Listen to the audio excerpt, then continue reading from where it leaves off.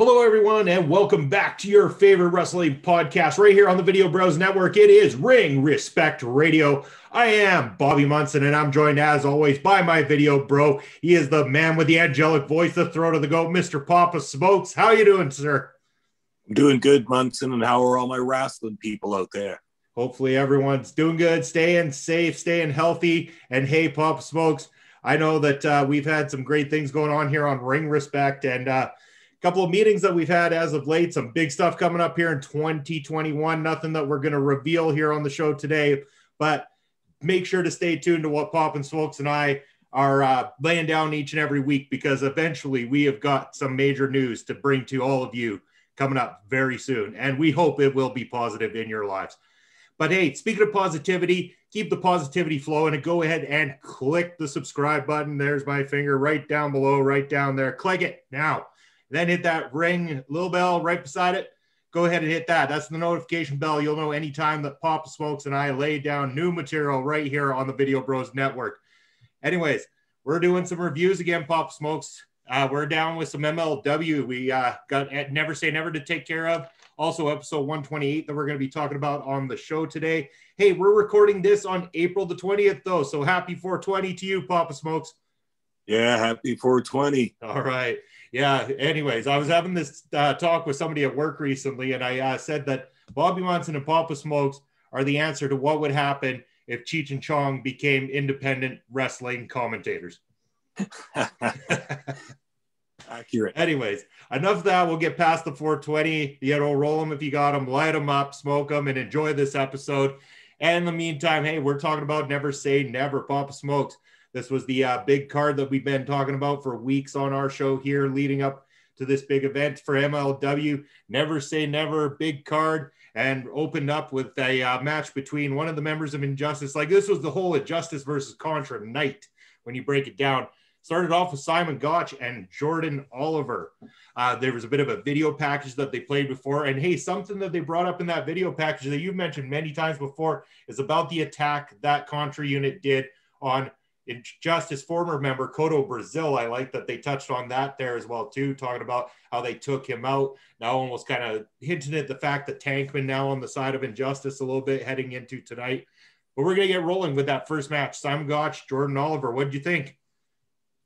Uh, I thought this was pretty good. I thought I thought it was uh, a match that went back and forth a little bit. It, it showcased some of the talents of each for Gotch, it's the uh, mat wrestling. For Jordan Oliver, it's more of an aerial attack. And uh, this was pretty okay match. What did you think of this one?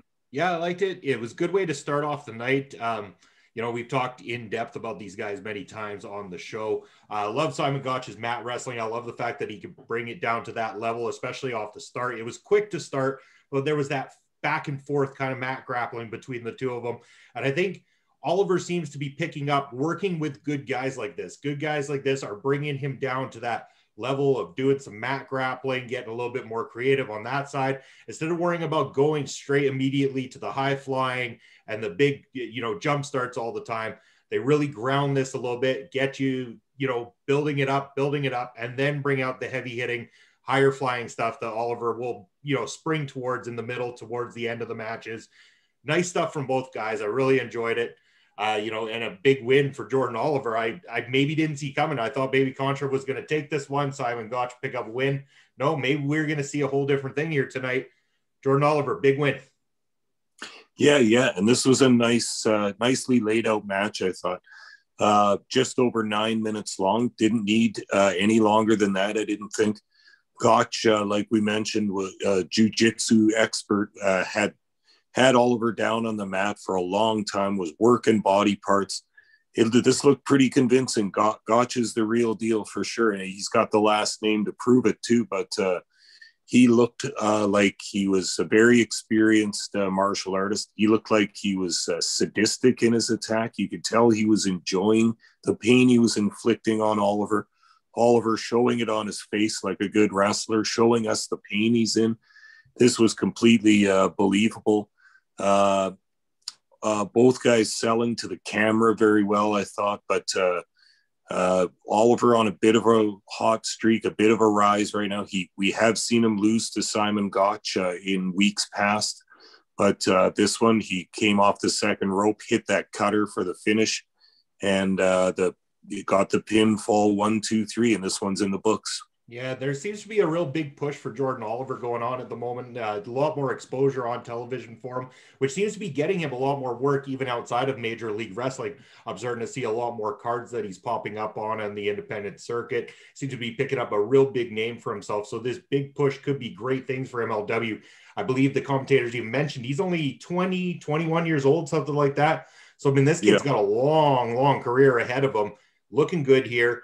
Again, brought into this match with a great worker, Simon Gotch. We can't say enough to praise for him. And great that Simon Gotch now puts Jordan Oliver over, or Oliver looks good coming out of this thing. And uh, both guys one up to each other. I mean, there could be a uh, so-called rubber match down the line for these two guys. Yeah, and if this continue, if this feud continues on like it has been of Injustice versus Contra, we'll almost certainly see that, and uh, possibly in singles matches, possibly in tag matches. Uh, yeah, I have the feeling we haven't seen the last of this feud. No, not at all, and that's okay with me because it's been great so far. Uh, from there, we had big announcement on Never Say Never, Papa Smokes. We could probably talk about this one for a bit. It seems like MLW have officially signed a deal with Dragon's Gate in Japan. This is something like Court Bauer and MLW had been working on uh, pre-COVID pandemic times, uh, but the everything kind of fell to the wayside by the sounds of it. Not completely off the table, but just things didn't progress once COVID hit and uh, the pandemic shut things down for a while. But now the ball is in motion. There's big things coming, big events planned. Dragon Gate Japan, MLW, another international blend being brought into the MLW uh, talent roster. Man, I'm excited for this. I don't know about you. I heard this announcement and I was like, fuck yeah, this is great news. Yeah, I think so too. It's we've talked about the international uh, dealings of Court Bauer and MLW. They have the ongoing deal with AAA Lucha in Mexico City, and now a deal with Dragon Gate in Japan. This is really good news for the MLW fans, us included, because we're just going to get a, an influx of new talent. Uh, and also i like to see talent uh, from different countries. I like to see what they're up to. As we know the the mexicans very into lucha. It's a different style. It's it's it's interesting to watch uh, your favorite wrestlers on uh, mlw interact with the luchadors.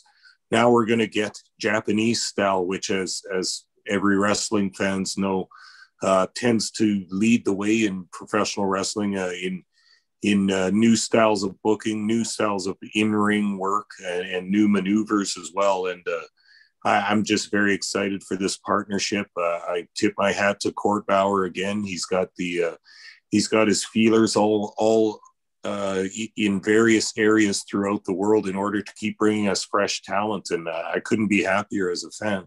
Yeah, and I mean, this coincides with another piece of big news that did drop, I believe, yesterday from MLW as we're recording this on the 20th of April. And the big news being that it appears that MLW have struck a deal with Vice TV as well. So all this expansion that Court Bauer's been doing with all these different companies, Dragons Gate, AAA, like you say, and all the different companies are starting to amalgamate under the MLW umbrella. And now he's reached out to Vice TV, which have been doing phenomenal work in the wrestling community as well too. I'm very much looking forward to this, and you know, awesome, great news for MLW on both the Vice TV signing and the Dragons Gate deal as well too yeah, got to congratulate uh, MLW and, and Court Bauer on that one. Uh, it seems like, uh, from what I've seen of Vice TV, they have an interest in professional wrestling. They've done not only the Dark Side of the Ring series, but a few other uh, documentary style series about backyard wrestling and some other uh, points of interest. But I always had the feeling that they wanted a wrestling program on their network, and uh, perhaps they've been negotiating with various companies, or I don't know the ins and outs of the business, but I'm very, very glad to hear that it's Major League Wrestling that'll be on Vice TV. Yeah, it's fantastic news. I love to see that they're continuing to grow. Uh, Court Bauer reaching all new heights. I mean, many people worried about you know their their like for either one of the big companies or the other, and meanwhile they're all missing out on this great, fantastic wrestling that's going on in Major League Wrestling, as well as these great things that Court Bauer is doing. I think this guy is going to shock the world and come up and show just how awesome MLW is. I believe there's going to be a much bigger audience for MLW, and it will grow as we continue to see this great booking and this great and these great deals coming in. And again, with the international flavor, just the icing on the cake. Again, being able to be exposed to wrestling without having to search through YouTube and all these different things to find matches of particular guys that are being talked about. We get to see this exposure. Like again, we can mention a guy like Zenshi. I don't know if we would have necessarily had a chance to see Zenshi's work if it weren't for MLW. And I think that we would have been robbed of some great wrestling in ring if we wouldn't have been able to see Zenshi. So, you know, props to MLW for everything they're doing and for the great wrestling we're going to continue to see.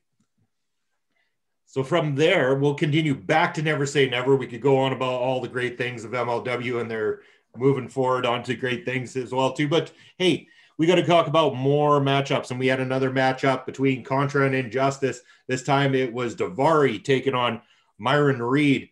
Uh, again, this one, we know Daivari looks fantastic. Myron Reed just been on a bit of a roll. He just, you know, I mean, he lost recently to Lio Rush, his uh, middleweight championship, but at the same time, from there, he's continued to pick up steam, getting one ups on Contra unit as well, too. But damn, Daivari looking sharp going into this one. What do you think, Pop Smokes, how this one played out? Yeah, this is another uh, matchup we've seen uh, in past weeks too, and, and Daivari won that last match, beat down Myron Reed after it. So you know that Reed had some uh, some incentive coming into this one, um, and also uh, you know that it's getting personal in this match too because uh, Myron Reed postponed his title rematch with Lio Rush in order to take this match. And as we know, uh, uh, if you uh, defer your title rematch in, in any uh, federation and then lose your next match, you might not be in that title picture anymore. So you have to be pretty serious when you do that. And uh, Myron Reed, as we've seen as a member of Injustice, is uh, uh, very committed to uh, ending the, the reign of Contra over MLW. Yeah, it's been a great feud that's been put back and forth. I mean, great again, Myron Reed, another one that's young, getting great exposure in that ring, getting work with great talents. Daivari's been around for quite a long time. They were able to work nicely inside that matchup together. It was exciting. It, you know, was, you know, something that I could sit there and enjoy. Uh, I did think there was a couple spots I got to say I didn't like about this. Uh, as much as I did enjoy the match for the most part, there was a couple spots I did write down I believe that the figure four was applied incorrectly in this match. I don't know if you caught this, Pop Smokes, but I'm pretty sure I saw it incorrectly applied in this one. Well, yeah, I remember it being applied, but I, I didn't actually watch the uh, application of it. Was he doing it uh, Hulk Hogan style, like from the wrong side? Yeah, it kind of looked like it was done completely where it wouldn't be putting any pressure the way a figure four should. I mean, they still sold it because you that's your job inside there, but I think that it was applied incorrectly. I mean, I could be wrong. That's just what I saw. And then the chest protector thing drove me fucking insane. It's why it's even there at this point is kind of silly to begin with. It's unnecessary. It doesn't really flow anymore. And then the amount of time that Reed spent trying to get that damn thing back on when he could have just pinned his opponent or gone for that finisher right there. It prolonged it too much at that point. I did not care for that. I wish they would have just cut that, just said, fuck it, no chest protector, just finish the match, make it look solid. Yeah, yeah. Well, in, uh, times past before COVID, we had seen Myron Reed uh, working more as a heel, and he was using that chest protector. I mean, there was a, he had an injury angle kind of like uh, Cowboy Bob Orton's cast. He said he had an injury and he had to wear it, but he was using it against his opponents as a foreign object type thing. So the the the chest protector had some heat in times past.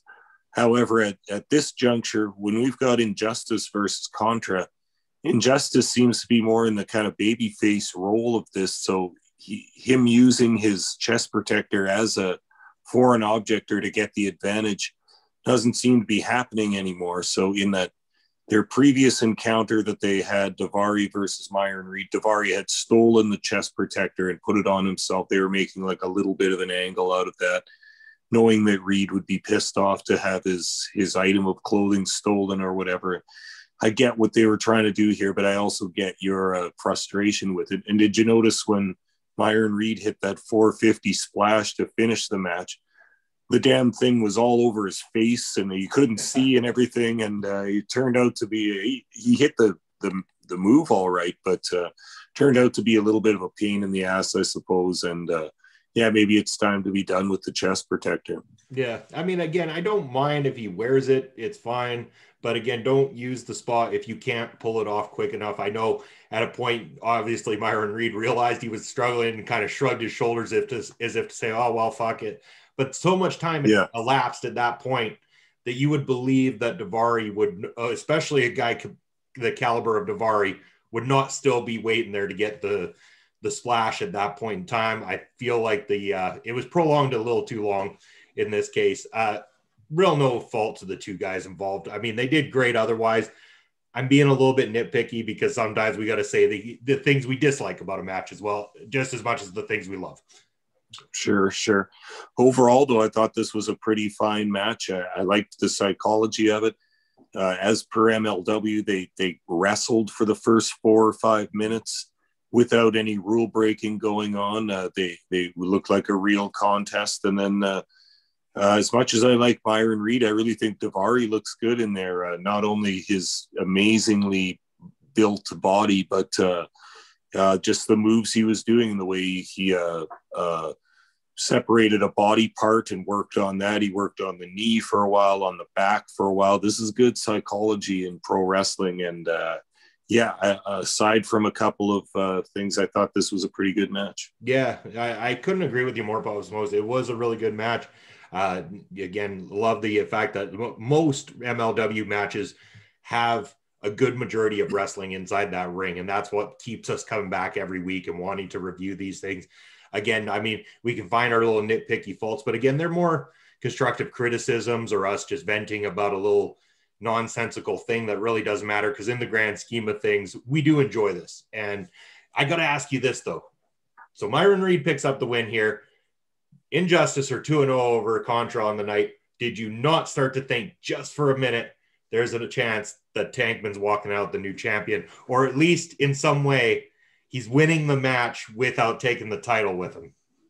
Yeah, yeah, I nibbled on that a little bit. Uh, uh, you know, Tankman was too new uh, a star or and too new of a wrestler, I think, to go over in this title match. But the way they built it was pretty good, and the way they laid out the match was pretty good too. We'll get to this, I guess, but uh, uh, yeah, there was question in my mind about how this main event was going to go, and they, uh, in the build up to this, Tankman had hit his flying tackle and sent uh, Fatu flying across the ring. I mean, they they did a good job of making it look like, hey, this guy's big, and it's possible that he could beat the big monster champion.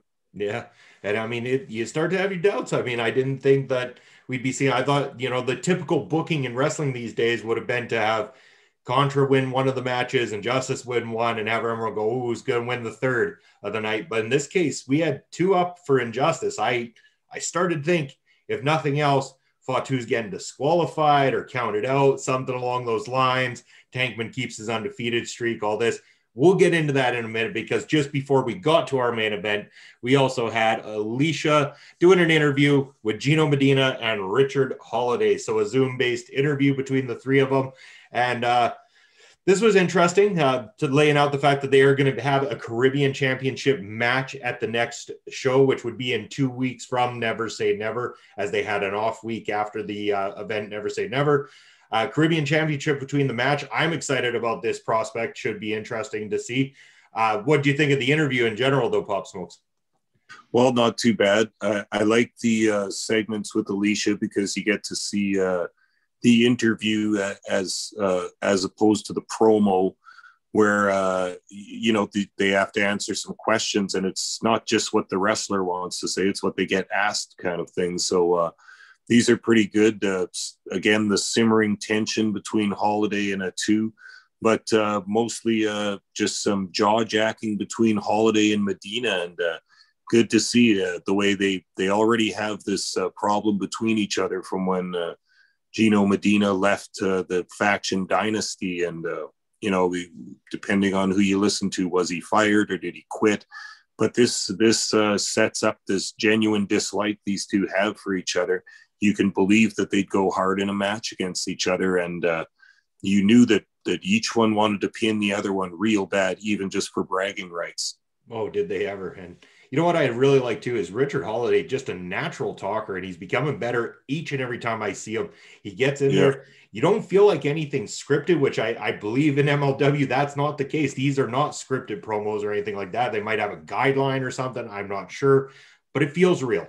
And Richard Holliday not only makes it feel real, he stays in the mode the whole time. He knows how to react to everything the other person's saying. In this case, whether it's Alicia or Gino coming at him, he controlled the entire show during that interview, in my opinion.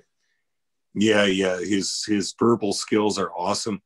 His wrestling's quite good. Also, uh, I, I wasn't sure if I liked Richard Holliday when I first started watching MLW, but that's changed a lot over the past months, especially since the restart uh, earlier this year. I think he's looked awesome and uh, he's getting a little bit of a push as well. And uh, it's working for me. I, I, can't wait to see more. He's got some size. He's got that natural charisma that's coming along more and more for him. And again, uh, you know, we, we, talk about his link up with MJF being uh, Dynasty before MJF leaving for AEW and stuff like that. I think considering what's gone on since that departure, I got to say, I'm leaning towards being more Richard Holliday fan. I loved what MJF did. I loved what he was doing, but considering what he's doing now, and fuck MJF, really. I mean, Richard Holliday's the man in that situation. Yeah, uh, I feel like MJF's talents are being wasted to a certain extent right now, but we won't get into that right now. Yeah. But um, yeah, yeah, Holliday's uh, uh, keeping uh, keeping it going in MLW and uh, per- perhaps uh, influenced a bit by MJF. We don't know. Maybe it's vice versa, but uh, uh, a smarmy heel, uh, a rich boy, a good talker, looks great, and wrestling pretty good. yeah, I'm into it. Yeah, me too, man. It was good. So from there, we got our main event. Let's talk about it. This is Rick, uh, Calvin Tankman, Jacob Fatu, the MLW Heavyweight Championship. Again, we were talking before about the build up to this one. Again, seeing that scene again where Fatu gets laid out by Tankman with that shoulder thrust check, that almost football tackle like check. And the way Fatu just does that spin flip across the ring, gets a lot of airtime on it as well, too. Just made it look beautiful. So this I was looking forward to. A couple of big, big boys going at it. A couple of guys that on equal size can really work. Uh, we know Tankman has a lot of ability to move that heavyweight hustle inside that ring. Jacob Fatu is just fucking phenomenal at the same time. Um, if there was a couple of nitpicky things, I thought, you know, I was glad Tankman saved a couple of the moves that he tried to pull in this matchup for a big event feel kind of thing. So there was the one off the ropes with the arm drag. I hadn't seen him do before. A couple of those moves I'm glad he saved for this. And at the same time, didn't quite execute them to perfection either. So were they necessary? Not particularly, but I do see what he was going for. He wanted to show us something different from what we had seen in some of his squash matches. Know that there's more in the arsenal and show that he is worthy, I guess, of being in this championship matchup. Uh, prove it he did. I got to say, great work from Calvin Tankman throughout the entirety of the matchup. But again, being in there with Jacob Fatu, I'm pretty sure at this point you could throw just about anyone in there with Jacob Fatu, and you're going to turn off out at least a reasonably decent matchup because he is phenomenal, probably one of the best in the industry at the moment. Yeah, yeah, and uh, they kind of uh, suggested something before the match was uh, there. There was the rumors floating around that Calvin Tankman had had food poisoning earlier in the week, that started me to thinking like, yeah, why do you got to say that? You guys now you're kind of uh, showing us maybe a hint of what's to come in the outcome of this match, but uh, uh, I don't know, an attempt to make him not look any weaker. Uh, uh, I thought it was good. Uh, the first couple matches, or sorry, the first couple minutes of this match were pretty good. Tankman came out with some energy and some strength and was uh, dominating the first couple minutes of this match through agility and uh, strength. they uh, they were getting him over uh, versus Fatu.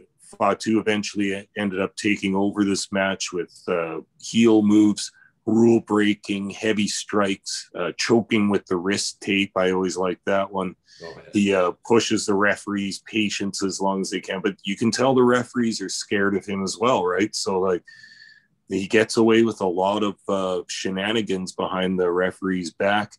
Uh, Tankman looked resilient through most of this, but uh, you could tell he was gassing a little bit. This wasn't a very long match either. This was just over 10 minutes, but you could see that by seven or eight minutes, uh, Tankman was getting gassed. He's a heavy guy. We get that. Uh, he does a lot of amazing shit in the ring, but uh, you know you can't ex- you can't expect the big guy to do it without uh, breathing heavily a little bit. And uh, yeah, the it it also fit in the match well too because uh, Fatu took over once Tankman looked uh, tired and all that. Um, eventually hitting the flag shot as Daivari put the flag in the ring and uh, with the referee distracted, uh, Fatu hits the flag shot to the head. Then the springboard moonsault and uh, pinfall one, two, three. Nice finish, nice ending. Nothing fancy, but um, got both guys over quite nicely. Tankman looking like he's for real as a challenger. Fatu looking strong and dominant as the champ, as always. Uh, found it interesting too. They announced that this was uh, Fatu's ninth title defense too. So, for all the time he's had that belt, uh, not a whole ton of defenses, but all successful. Real good stuff. Yeah, and it seems like a lot of those title defenses have come within recent months too, since the restart. I mean, we had him. He had a defense against Davy Boy Smith Jr. He's had one against Jordan Oliver, and I believe ACH as well too. So I mean, that's four of the nine right there, if I'm thinking off the top of my head correctly. So I mean, that's yeah. uh, crazy the amount that uh, gone on for Fatu, but he's a great worker. Again, I like the fact that you uh, brought up about uh, Tankman uh, getting gassed uh, there in the match. I mean, yeah, big guys will definitely get uh, definitely get gassed after working that kind of matchup and everything. Um, something of interest that gets brought up and talked about Fatu took over when Tankman was gassed. I was listening to uh, Bret Hart speak recently about his time working with the uh, late great Yokozuna and saying that one thing he did when he was working with him is he allowed Yokozuna to kind of stay more centered in the ring while Bret did the running and the more of the movement and stuff like that, allowing him to keep that energy toward until towards the end of the match, where he could then come out and be explosive at the end and give that excitement towards the end of the match instead of having him burn it up in the first four or five minutes like a lot of the other guys on the roster like to do to him, kind of thing. And you bring it up, and it was kind of that way where uh, again Tankman got gassed, and then Fatu took over. But in so many ways, it also worked with Fatu being the heel, him being the one that's more explosive at the end, and using those dirty tactics to try to get that victory. Uh, yeah, both guys getting over very well. Again, Fatu looks every bit the impossible to defeat champion that he has looked for a long time now. While at the same time, Tankman looking like a viable contender, especially if he continues to work on it and builds himself up over this next year. There's possibility that Tankman could be looking at more title opportunities down the line. Yeah, I think without question. And uh, this match uh, served its purpose nicely too. Uh, uh, Fatu looking very tough, very dominant as the champ, but Calvin Tankman, as we know, he's a he's a rookie with MLW. I I looked into some of his past. I don't think he's been wrestling all that long. So I mean, it's understandable that a a young kid like that getting his first big title opportunity, he's not going to win it against a wily champion. So uh, Tankman doesn't look any weaker for taking the pinfall in this. Fatu still looks dominant and uh, crushing as a champion. So uh, this match uh, accomplished exactly what it set out to do and uh, put both uh, wrestlers over. Sure did. And that's uh, what Never Say Never did. Did accomplish putting everybody on this card over in a great way. Great matchups. I got to give a big thumbs up to MLW on Never Say Never this year. Uh, you as well, Papa Smokes. Just want to get your approval. Yeah, yeah, definitely. I, I would have liked another match or two, but uh, yeah. I also kind of think it's charming just to have the three main uh, feud matches that you have going on right now, uh, especially just Contra versus uh, Injustice. It, it, was nice like that. I liked it. It didn't take a whole lot of time. E- each match was was ten minutes or less, and uh, just as more testament in the uh, wrestling business today that you don't have to have twenty minute competitive matches all the time. An eight or ten minute or on TV will do very nicely. You can get lots of spots in in a 10 minute match as we just watched and uh, i don't think there's any point in doing it longer it's just uh, wrestlers these days want to get all their shit in and it takes a longer time but as far as uh, match psychology I, I, find just the eight to 10 minute match is pretty much perfect for most uh, most matches. Yeah i'd like to see half these people who think they need to watch 20 minute matches go and get inside of a competitive sport for 20 minutes long and see if it's absolutely necessary and if they would be moving around the same way that they're expecting these performers to perform after 20 minutes. It guesses you out entirely being in that kind of competition stuff like that uh, speaking from experience not from uh, professional wrestling ring but from uh, mat wrestling experience and boxing and stuff like that again you're taught endurance in short periods of time and stuff like that because most of that happens in short spurts of time. It's it's all, especially in uh, mat to mat wrestling, you're given two halves of five minutes each. You're no longer than a ten minute match total, and it feels like an eternity when you're in there. You start to get gassed. You start to really become kind of slower towards the end and it becomes boring in some ways. So, I mean, again, these guys who think it needs to go on 20, 30 minutes, it just gets to be too much. There are spots that are okay to go longer matchups with certain feuds, certain cards, certain pay per views. It fits, but not every match on television. You're right. 10 minutes, eight to 10 minutes is absolutely perfect, as proven here. Huge props to MLW for never say never. Yes, two thumbs up from Papa Smokes. Sweet. Uh, so we're going to go on to episode 128. Before we do, I didn't say it at the top of the hour. So a big shout out to the boys over at Backbreaker Media who've been doing great work helping us out. Also, going to give a shout out to the Canadian Wrestling Network, who Backbreaker Media has formed an alliance with, which means that you can find Ring Respect radio episodes on the Canadian Wrestling Network's uh, website now, also through their social media and all of Backbreaker Media stuff as well too. So every time I check online, it seems like we're in more places than we were the last time a checked Papa Smokes. It's growing rapidly um, it's hard to keep up with. It's been fantastic being able to reach out to everybody like this and continue to do what we do. Yeah, yeah. Uh, many shout outs always to Backbreaker Media for helping us get out there. And uh, our friends from Alberta, we, we uh, enjoy interacting with them and we enjoy uh, sharing uh, all kinds of wrestling content with them. And thanks again to those guys. Yeah, definitely, man. Um, so from there, let's uh, start on episode 128 of MLW here on the show. Uh, this one ended up having a lot of uh, content, a lot of matchups on it. I made a note and I talked to you before we went live on the air about how I called this the heel versus heel because a couple of matchups really were worked heel versus heel matchups, which we will talk about. Um, we started the night off very interestingly. I'm not sure where this was planning to go. Uh, Salina came out to cut a promo uh, at the top of the hour, and then she was cut off by the I guess the personal assistant to El Jefe or the Azteca Underground's personal assistant that's been uh, in around the matchups that have been going on and everything. He came and actually held his hand over top of the camera and told him to shut the camera off and then started scolding Salina, saying that she did not have the permission at El Jefe to be doing what she's doing tonight. Yeah, yeah. And isn't that interesting after uh, we've seen her run her manipulations over the last two years in MLW, and she's she's put a lot of uh, put a lot of stuff over on a lot of people, and uh, and stayed in the in the driver's seat kind of. But now we're seeing the, the tide turning for her.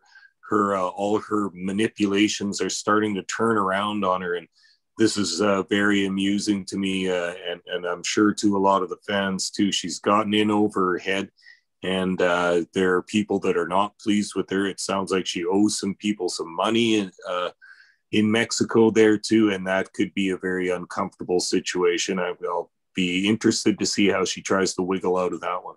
Yeah, and I mean, I, I love how badass El Jefe seems without even knowing who the hell El Jefe is. I mean, it's the way they built this whole thing is exciting because he's he's a mystery, an enigma. We know he's powerful. We got big guys that are willing to work for him and do his dirty work for him. I mean, guys the size of Mil Muertes and L.A. Park and uh, you know his sons and stuff like that are willing to do the bidding of El Jefe. Salina seems legitimately worried for once in her life as well too about El Jefe. Who is this guy? We don't know, but I even I'm starting to get a little bit worried about who El Jefe is. He's starting to put a little fear into old Bobby here, Papa Smokes. Yeah, yeah. With those deep pockets, he can get a lot of stuff done, whatever he wants to get done. And uh, Salina knows that she's she has a healthy fear of him, I think, as do uh, any of the other guys from Azteca Underground that knows who he is yeah, you fear the man with the money and the power because he can make stuff happen. And and uh, I I have the feeling in the next upcoming couple of weeks we'll get a at least a hint or maybe an unveiling of who El Jefe actually is. We've both had our predictions about that, but uh, I think we'll get it announced pretty soon, and uh, I think he's going to come in and say his piece. Geez, with some of the uh, video packages that were dropped on this particular episode, I started to think that you might be right because there was a lot of Konnan references coming yeah. up in the video packages. So I'm like, son of a bitch, Papa Smoke's going to get me on this one. He's going to be right about this. Yeah. Uh, Konnan owes her one from before for sure. She she got the better of him one time, and I, have been kind of waiting for him to come back and make a fool of her. Uh, I, I think you still think it might be him that does it. Yeah, it's going to be interesting either way. I mean, this is an exciting time. I'm I'm loving the build of this thing. I'm glad they haven't just gone and revealed who El Jefe is immediately. I like that maybe this will actually carry on until their debut on Vice TV. This could be a really big way to debut on Vice TV is to have the, you know, El Jefe finally show up or find out a little bit more, something that they can give to Vice TV for that particular debut. So exciting that they're going to extend it out, make us guess, and keep us watching. So from there, we started the night off with the Caribbean Championship matchup. So the Caribbean Championship matchup, Richard Holliday, the champion, defending against Gino Medina. We saw the announcement of this one at Never Say Never and match on. Again, this is one where I noted heel versus heel. We were talking a bit before the show, especially in this one, Gino Medina working really well as a heel, but it feels more like Richard Holliday, especially when he comes out, that arrogance about him, everything about him feels more heel than what Gino does. Gino has a natural babyface look in a sense. He he can come off arrogant and he plays heel well. I'm not knocking him at all, but just because of his his youth and the way he looks, he feels like in this case the look of him is more of the baby face, while Richard Holliday looks more of the heel part. Again, that was my only real gripe with it. I mean, these guys worked well together. They know each other well enough. I like both guys, and not a terrible match, not bad. Anyway, I think probably one of the better ones we're going to see on this particular night of MLW, in my opinion. What do you think, Papa Smokes? Yeah, I, I, thought this was an all right match. Um, like we were talking about Holliday before, I'm interested to see more of his work. I, I think he'll still have the breakout match or moment one of these days or one of these weeks on, on MLW. Um, yeah, you were talking about the fact that this card was heel versus heel, and it, it definitely was like that. But Medina healing it up more. Holliday was was wrestling uh, cleanly for a hmm. lot of this match too, and uh, shows that he can do it too. That he's got a, a, enough moves and enough skill to pull it off without, excuse me, without cheating. But um, uh, I think I liked the way Medina looked. I, I, think this match was to build Medina more than Holliday, even though Holliday has that Caribbean championship around his waist. But uh, Medina was healing it up big time. He was uh, removing the turnbuckle padding. You knew that was going to come into effect at some point, one way or the other. Um, he Medina tried. Uh, used Holliday's own finisher against them. That's a pretty heelish thing to do to the uh, 2008 stock market crash or whatever it's called. It's kind of like one of those uh, face busting kind of uh, moves. Used that on him. That that that really pissed off Holliday quite a lot. And then uh, and then uh, yeah, Holliday ended up reversing a couple of moves and, and hitting his own.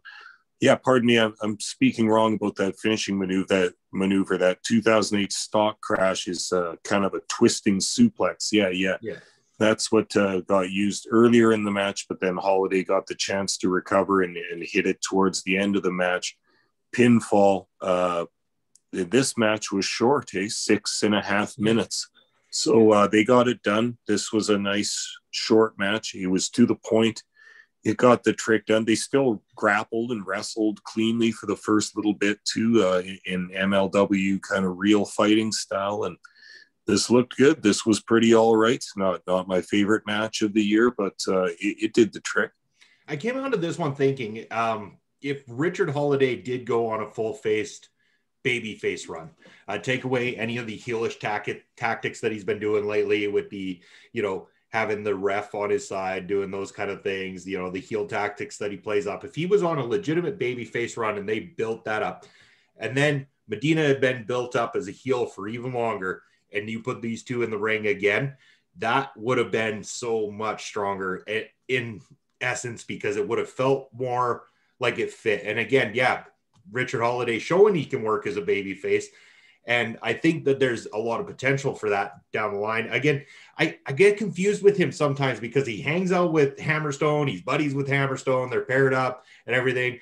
But then he does heel tactics usually until he goes and fights a guy like Medina, and then he's a baby face. It, it is a little bit confusing. I wish he wasn't so much of a tweener, as they would call it pick a side. Let's see uh, what he could go with. I, I honestly think they could use another solid babyface character, despite him having a bit of arrogance. I think he could work it into a a way that it could work for a babyface.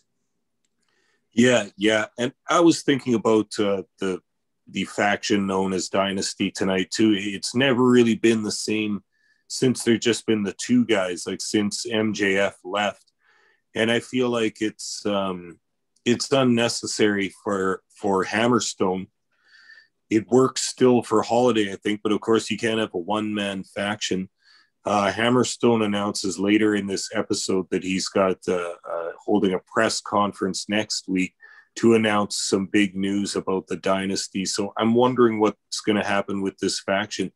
I d- I don't think it's much. They, they don't even say the name of it all that much. You do see Hammerstone and Holliday together sometimes, but they never seem to really work as a faction. The, since they tried to get Gino Medina unsuccessfully, they've never really tried to replace MJF. Um, it just, I don't think this faction really is necessary anymore. So I'm not sure what the announcement will be next week, but uh, I have the feeling that uh, there are some changes coming up for the guys in the dynasty. Yeah, and we'll look forward to seeing that next week. Um, but yeah, I mean, again, it's it wasn't a bad match. Again, there could be a lot to be said that could be done with these guys down the road. Looking forward to that much. Uh, from there, I believe we went to a video package showing about the chain rope match from last week, or not last week, but a couple episodes ago, and a uh, an injury that occurred. I guess uh, we uh, we're one Von Erich short of a uh, tag team here now, Papa Smokes. Yeah, yeah. Marshall Von Erich announcing his knee injury at the hands of uh, Tom Lawlor and Team Filthy. So um, he's going to be getting surgery and going to be out for a while. And we saw Kevin Von Erich, uh, their dad, talk to them a little bit. And uh, uh Ross is going to go for some additional training. And uh, yeah, so I guess we won't be seeing the Von Erichs as a tag team for the next while possibly Ross as a single. We don't know, but I think uh, they they want to use the Von Erichs as a tag team. Uh, we'll see what happens, and we'll see how long Marshall's going to be out for. But this could be interesting. Uh, could be an opportunity for Ross Von Erich to get in the singles ranks. What do you think about this, Bob? Yeah, I mean it. It's a shame because obviously we like the Von Erichs. Uh, we wish Marshall a speedy recovery as well too. Um, it could be a great opportunity for Ross if they decide to go that way. It could also be a very good opportunity to maybe get them more prepared and ready for a return to that ring as well too. So if Marshall's taking that time off, Ross gets some more training, they're off TV for a little bit, and then when it's time to bring them back, you bring them back, they're even more prepared, more ring ready, looking even sharper, maybe even have gotten out there and you know worked even harder to get an even stronger, more solid look to their bodies. They come out looking like a million bucks.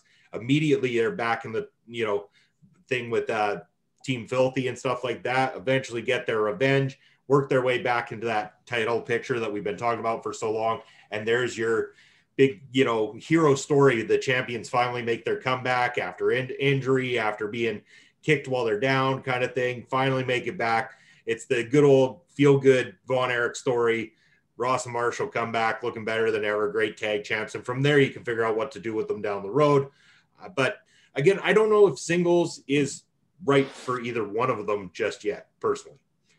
Yeah, yeah, I don't know that either. I'm just speculating as to what could happen in the future, but uh, yeah, I have the feeling we won't be seeing the Von Erichs in the tag team picture on TV for the next bit, and that's fine. Like you say, that you you go away for a while, let the fans miss you a little bit, let the fans want to get you back, learn a few new holds, um, get something new to your look, and come back more stronger and more popular than ever. Yeah, damn straight, man. And uh, from there, we had the uh, Alexander Hammerstone promo. We are talking about uh, saying that he's got the big news of the dynasty last week. We did kind of mention that. I like some of the facts that were on the screen at the time, mentioning that Hammerstone has been the national open weight champion since June 1st of 2019, the first and only to carry this belt. Whether or not that will still be the case after tonight, we'll see as he's going against Mil Muertes for the championship. But man, what a title reign for Alexander Hammerstone. Yeah, yeah, and uh, they they had brought that belt out and made it a new championship.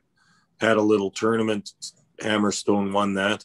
Uh, defended it for a little over half a year, but all these long reigns you hear about, a lot of them go through COVID, which was pretty much a full year kind of thing. So, uh, as long as it sounds, he was inactive for a lot of that time too. But uh, not to take any anything away from uh, your boy Hammer there, he, he's uh, definitely one of the top uh, personalities and faces in the company, and uh, guys looking uh, looking for bigger and better things. And uh, yeah, the only real speculation is about his uh, national open weight championship. Is is will he keep it into his world title run against Jacob Fatu, or will he be stripped of this belt or lose this belt before that time? Yeah. We're not sure yet. He's got the battle with Contra going on. Uh, he's got a few things on his plate right now, and uh, time will tell. Yeah, definitely. Uh, he's looking great, though. And we'll see more of him later on in the show. Uh, after that, we had Alicia Atout doing an interview with TJP talking about his actions against his uh, former friend, Buku Dao. Again, a lot of great work here from TJP, really selling this whole thing while they're keeping him and Buku Dao at distance and keeping this one on one encounter uh, off the table for the time being and making kind of prolonging it, making us wanting it a little bit more. Um, you know, TJP did what he needed to do here. Uh, I would like to see maybe more of an encounter at this point, though. At the same time, we've seen the TJP interview, we've seen the Buku Dao one, we've now seen the TJP one again to go over the actions. I think enough talk. Let's uh, let's see that action finally happen. Yeah, and I do believe they set that match for next week, did they not? So uh, we're going to finally see. I'm interested to, to see uh, what Buku Dao's got to offer. Uh, I know that uh, both of us were impressed with some of his work uh, in tag team matches with TJP in the previous weeks leading up to this, but uh, this is now an actual program for him, an actual feud, and and with his uh, you know buddy and mentor uh, TJP, th- this could really be a hot match. Yeah, I'm looking forward to it, man. And I do believe they did make it for the next week on MLW Fusion, so one to yeah. look forward to for sure. Uh, from there, uh, we were talking earlier about the tag team title picture. Well, I mean, we're talking about a tag team who, once again, we, I've mentioned many times about why they keep appearing in the PWI's top five tag teams. Probably because there is only five tag teams in the division, six if you include the champs. But the Dirty Blondes are back with Aria Blake and taking on Los Parks with Salina for the MLW Tag Team Champions. Uh, did not see this one coming. It wasn't previously announced. I guess this one, there's something that happened prior to this episode going on the air, which led to this tag match taking place between these two teams. But interesting to see the Dirty Blondes finally back in the picture after all this talk. Yeah, yeah, and uh, we've been curious about them. They they really only used them. Uh, we only seen one match of theirs before on Fusion, I think, or maybe two. Uh, one Fusion and one at night uh, Kings of Colosseum, but that was that right. kind of barroom brawl with the Von Erichs there. Right, right. There was right. a squash match, I believe, on Fusion leading up to that.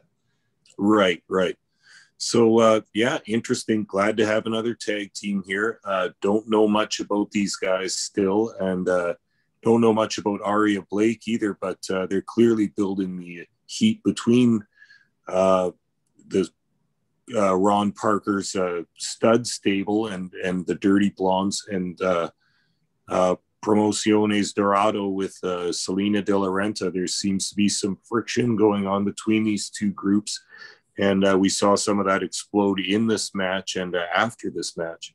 Yeah, we sure did. I mean, even the ladies get into it after this one. Uh, Alicia, uh, sorry, not Alicia, but uh, Salina and Aria right in the center of that ring, and a little cat fight broke out there, and uh, the guys had to pull these two apart. I think they would have clawed each other to death otherwise. Yeah, yeah, but um, in all honesty, I didn't see a lot in this match. It seemed like it was a bit of a mess.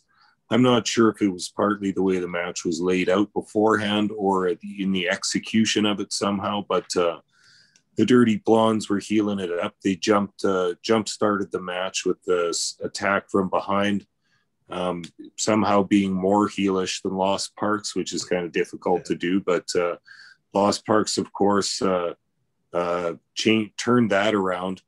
But really, this match I found messy um, there were some moments where it slowed right down, where you could tell the wrestlers were kind of like, "Oh shit, where are we and what do we do now?" And you know that that can be in a split second, and they can fix that. We've seen matches where they do that, but that didn't happen in this match. This match had the viewer sitting there going, "What are they doing? Like, why? Why are they all just standing there? What's supposed to be happening right now?" That's not really what you want in a professional wrestling match, to say the least. But uh, you know, shit happens. Not every match is perfect. Uh, th- this one was a bit of a schmozzle, but uh, uh, Los Parks had uh, L.A. Park Jr. hiding under the ring again, of course, and uh, came out for the double groin shot, which gave the advantage to Los Parks. And uh, you could see Salina was very nervous about this match uh, at ringside. Uh, and then hence the uh, attack on Aria Blake afterwards. Blake had been interfering in the match too. I mean, Dirty Blondes were more heelish than Los Parks in this match, and uh, yeah, you knew something was going to boil over at the end of this. Salina attacks Aria. Girl fight I've got in my notes here with several exclamation points. That was pretty exciting, I suppose. And uh, I don't know, is this to set up a bit more of a feud between Los Parks and Dirty Blondes? Unknown because uh, Dirty Blondes only seem to ever appear uh, every few weeks. So, uh, yeah, it, it, was a match, and uh, that's all I got really to say about that. Yeah, and I got to bring it up. I don't know if you caught this, but when LA Park Jr. comes from under the ring, gets in that ring, does the double groin shot. The referee was half turned towards the competitors at the time, yeah, knowingly that unless this guy has no vision out the right side of his face, would have been able to see that there was a third member of Los Parks in the ring to begin with, let alone two guys getting nut shot right in front of them. Both go down, and then right away as they hit the ground, the cover happens. LA Park Jr. is not even out of the ring yet. He's still in the ring physically, and the ref turns straight around for that three count. I'm sitting there, I'm chuckling a bit because they don't usually make mistakes like this too often with MLW, but this match had it. This match had those mistakes. It was a little bit goofy, not to my taste. I, I don't have a problem with any of the competitors. I mean, Dirty Blondes, I'd like to see more of before I make any real judgment. I don't mind how they work. I think with the right team, maybe it could be right. Not saying Los Parks isn't the right team, but again, this is heel versus heel. It was them out healing guys who we know are heels and win as heels. It really made no sense. Nothing there nothing much more I can add, Papa Smokes. I think honestly, we're better off to go over next to the next interview on the show. Yeah, it happens, and, and not every match is a five star Meltzer extravaganza. so uh, we'll just leave it at that. You bet. Uh, next up, we had a Lio Rush interview. So uh, Alicia Atout sitting down with Lio Rush, uh, talking about the potential for Rush versus Reed. Too, we know Reed lays down a promo making the challenge as well. Too, he wants this matchup to happen. We as fans want it to happen because this was a really strong middleweight championship match, and I think great on them for going and uh, waiting a little bit, giving Lio some other matches under his belt before they went right back into a sequel to this one here. And uh, great, you know, promo as always from Lio, saying what he needs to say in there. Uh, love his little jokes about Alicia getting a watch so she can uh, know when it's rush time and stuff like that. I mean, it's arrogant, it's fun at the same time. I enjoy the way the kid talks. Nice work from Lio. Yeah, yeah, couldn't agree more with that. Uh, like we've discussed before, I, I was ready to shit all over this guy because I've heard some of the re- some of his reputation in the business. He, it seems like he kind of lives his character. He really is. He really does believe that he's kind of the best thing around. But uh, since I watched his work in MLW, uh, it, yeah, he's kind of convinced me. He's really quite good at healing it up big time. He's an arrogant little jerk. He's got the he's got that face that you just want to punch so bad. He's got the rap career that he's bragging about and stuff. Like he's really hitting it uh, out of the park in this in uh, in MLW, and I'm loving it. I also think that was a good point that you made that they're waiting on this rematch a little bit because that that is probably the big money match. We've seen uh, we've seen Lio Rush versus uh, Laredo Kid. That's pretty big match. That was a good one. But uh, uh, Myron is the guy that could maybe beat Lio and maybe put his shoulders to the mat for the three count. That's the one we're all waiting for. I like it. They're going to make us wait a little bit and, and put it on a bigger stage. Very smart again by Court Bauer. Yeah, and I can again maybe see that one happening for Vice TV's debut. I mean, they got to save some big stuff for that night. I'm sure we're going to be seeing some good title fights that night for sure from MLW. So looking forward to that. Uh, speaking of title fights, here it is, the main event of the night. Uh, finally, we've got a face versus heel match here on this MLW card, Papa Smokes.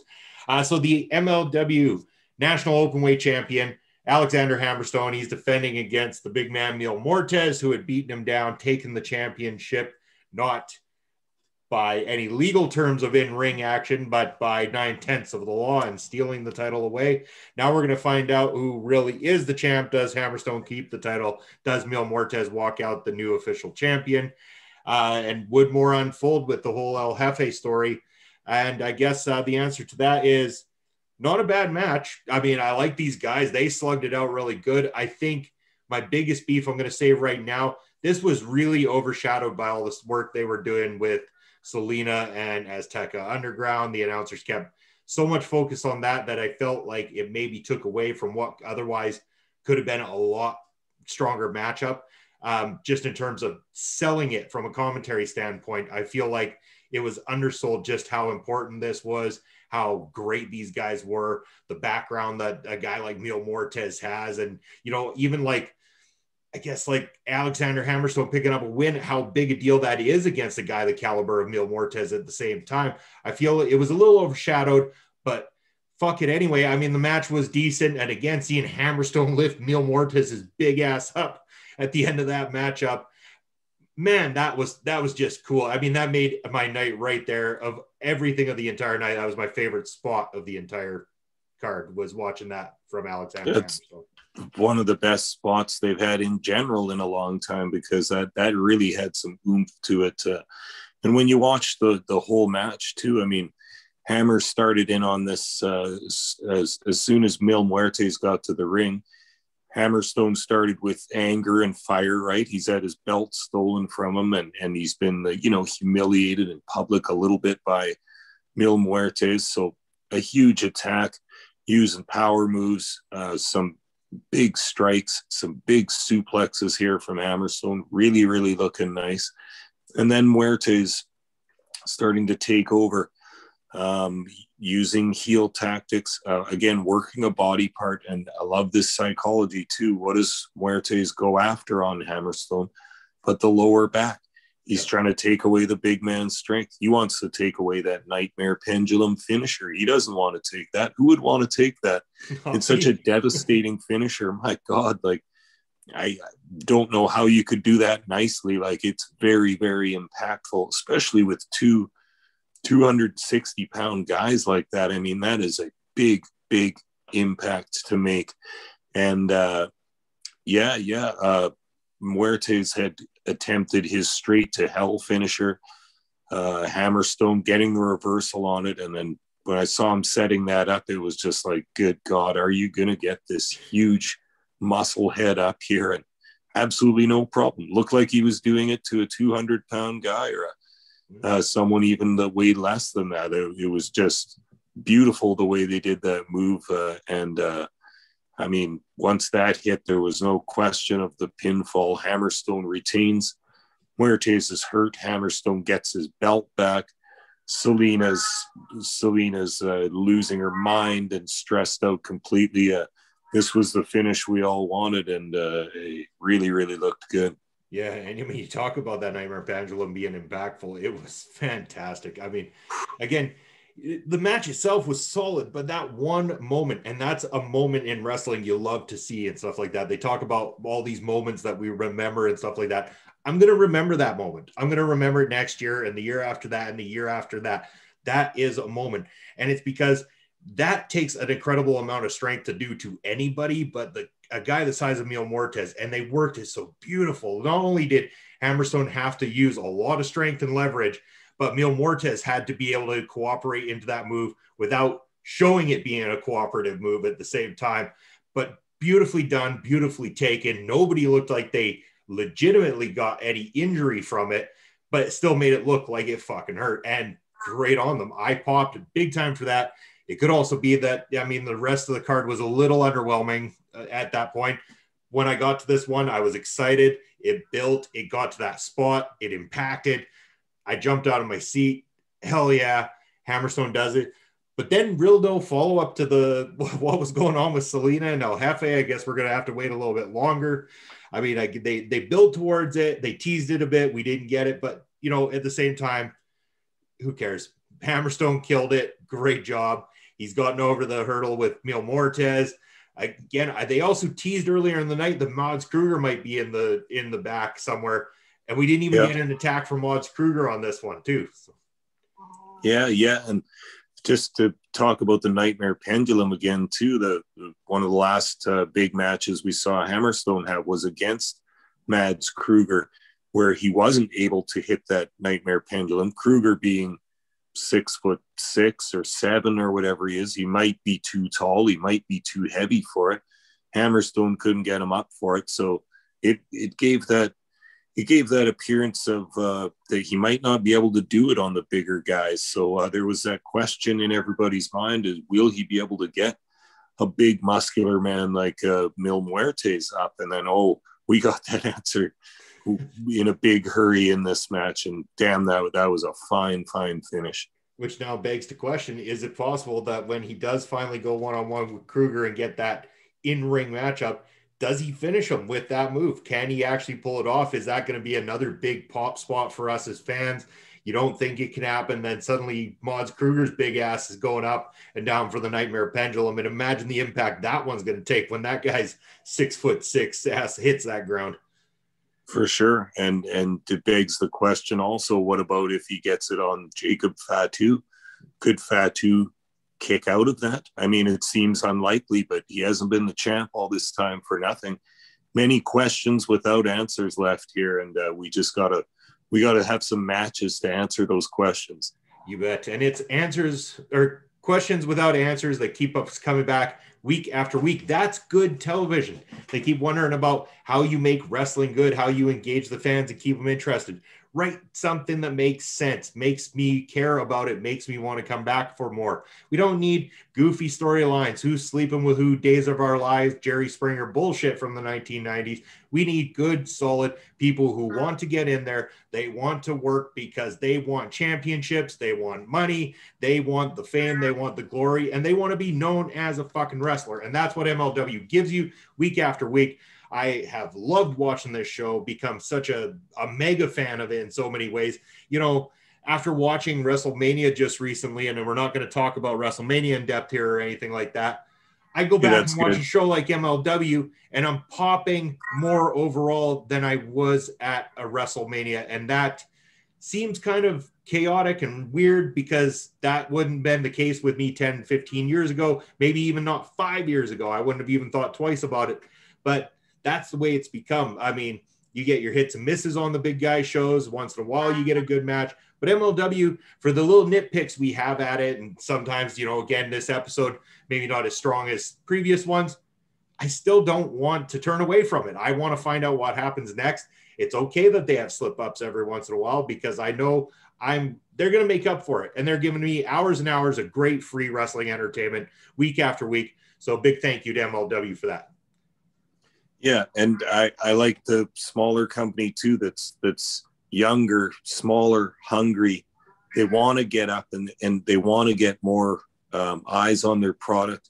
They want more success, and it just feels like some of the big, a couple of the big feds have that and aren't really trying that much anymore. That the motivation isn't there to keep putting on big matches that pop, to, to keep doing like working hard at at laying out matches and uh, booking matches with psychology that's logical and makes sense. I think that art is becoming lost uh, in these these modern times, as uh, all the old classic bookers aren't working in the business anymore, or are passed away by this time, or uh, uh just aren't active in wrestling anymore. And uh, you know, we've got uh, we've got TV comedy writers and and and and people that haven't grown up in the wrestling business writing some of this stuff, which is why it doesn't make sense, I think. And uh, thankfully, not so with uh, MLW. Uh, Court's got a great staff and and and uh, booking people, uh, laying out the matches and all that stuff. And hasn't it been a breath of fresh air to watch some new product that that doesn't have that that stink of uh, modern wrestling on? Oh, does it ever, Papa Smokes? I'm glad to tune in every week, and I'm glad, as always, to be able to come on here, do these reviews, and engage with not only our fans, but fans of MLW as well as the uh, MLW roster. Uh, more and more, they're becoming more engaged with the video bros as well too. So it's great to see. Thank you to yeah. everybody at MLW who continues to uh, like what we do and uh, give us shout outs every once in a while too. It really helps us out as well too, and you know makes me and I'm sure yourself feel more validated in what we're doing when people who we're talking about listen in and appreciate it at the same time. So props to them for uh, liking what we do and helping us out by giving us shout outs as well too. So, and you know, as always, can't thank the listeners enough. Everybody who tunes into the show, whether it be right here on the Video Bros Network, Backbreaker Media, Canadian Wrestling Network, or any of the other places that you can find Ring Respect these days. A big shout out to any of you who take any time out of your day to listen to what Papa Smokes and I do right here on Ring Respect Radio. Uh, thank you once again for tuning into this episode of the show. Uh, we want you to go ahead, click that subscribe button down below, share us all over social media, share the love, and uh, engage us in the comment section down below. Papa Smokes and I want to hear from you. Thank you very much, everyone. Take care.